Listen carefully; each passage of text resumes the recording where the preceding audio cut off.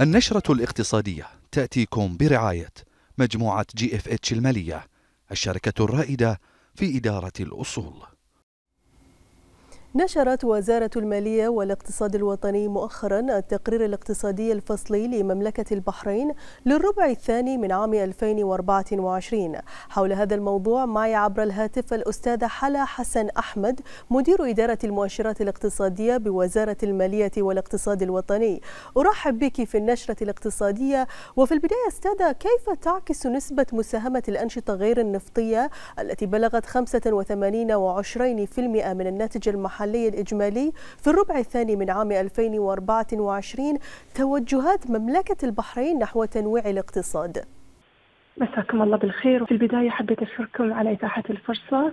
تسليط الضوء على بعض نتائج الأداء الاقتصادي لمملكة البحرين خلال الربع الثاني من العام 2024 لا شك بأن النمو الاقتصادي يحقق المنفعة لشعب البحرين. هو واحد من أبرز الطموحات طموحات الرؤية الاقتصادية 2030 واللي تهدف إلى تطوير وتنويع الاقتصاد أكيد مع الأخذ بعين الاعتبار التركيز على الأنشطة الاقتصادية ذات الإمكانيات العالية. أما بخصوص توجهات مملكة البحرين فيما يخص التنويع الاقتصادي فيظل القطاع المالي محرك أساسي للنشاط الاقتصادي طبعا إلى جانب قطاعات واعدة أخرى وهذه القطاعات الواعدة تمتلك فرص ومزايا تمكنها من التطور مثل قطاع السياحة والصناعة آه، والطاقة والخدمات اللوجستية وأخيرا وليس اخرا الاتصالات وتكنولوجيا المعلومات والاقتصاد الرقمي. وبالفعل أطلقت حكومة مملكة البحرين استراتيجيات تستهدف هذه القطاعات الواعدة بهدف تنميتها. وحابة أنتهز الفرصة وأشير إلى مساهمة بعض تح... بعض برامج تحفيز المؤسسات المتوسطة والصغيرة اللي يطلقها صندوق العمل تمكين لتنمية هذه القطاعات الواعدة. طيب أستاذة ما هي أبرز العوامل التي ساهمت في تحقيق النمو برصيد الاستثمار الأجنبي المباشر وكيف يعكس ذلك النمو يعني النمو جاذبية بيئة الأعمال في مملكة البحرين للمستثمرين الأجانب؟ مملكة البحرين تمتاز ببنية تحتية متطورة واللي بدورها تعزز من قدرة المملكة التنافسية وتساهم في جذب الاستثمارات الأجنبية المباشرة بالتأكيد مع مع وجود نظام رقابي حكومي يطبق بشكل عادل على الجميع. وأحد محاور خطة التعافي الاقتصادي يتمحور حول تسهيل الإجراءات التجارية وزيادة فاعليتها، وطبعا بدوره بيؤدي لتحسين بيئة الأعمال وتعزيز النمو الاقتصادي. ومن جانب آخر أطلقت مملكة البحرين في عام 2023 مبادرة الرخصة الذهبية للمشاريع الاستراتيجية واللي لعبت دور مهم في جذب المزيد من الاستثمارات من دول المنطقة والعالم أجمع. ولعل من أبرز العوامل اللي ساهمت في تحقيق نمو رصيد الاستثمار الأجنبي المباشر هي عمليات الدمج والاستحواذ اللي حصلت في بعض الأنشطة الاقتصادية مثل الأنشطة المالية وأنشطة التأمين.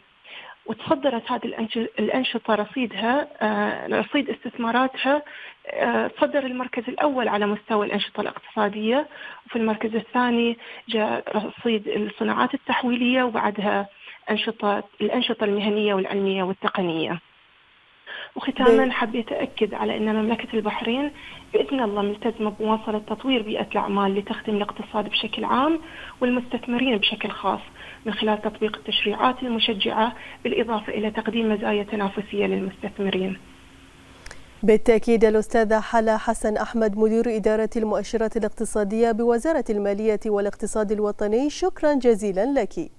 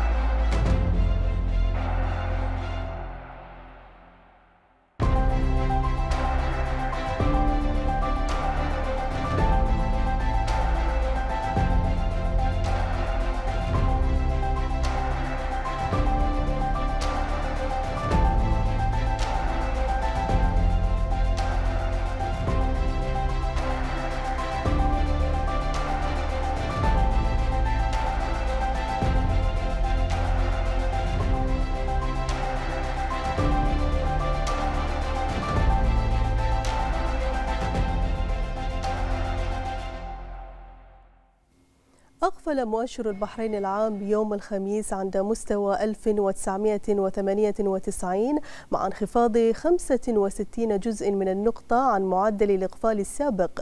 وذلك عائد لانخفاض مؤشر قطاع المال في حين أقفل مؤشر البحرين الإسلامي عند مستوى 797 بانخفاض بنسبة نقطتين و21 جزءا من النقطة عند معدل إقفاله السابق. والآن نترككم مع أداء الأسواق المالية الخليجية.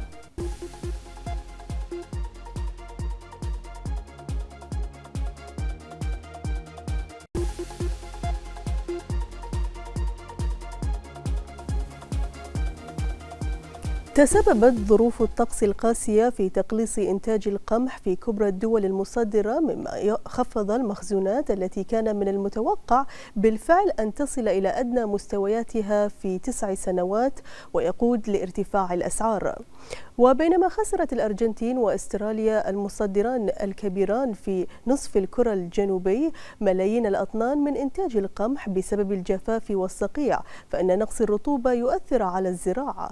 وبحسب بيانات أمريكية فقد أدى سوء الأحوال الجوية إلى انخفاض مخزونات القمح العالمية من أعلى مستوياتها على الإطلاق قبل خمس سنوات مما تسبب في ارتفاع أسعار الحبوب.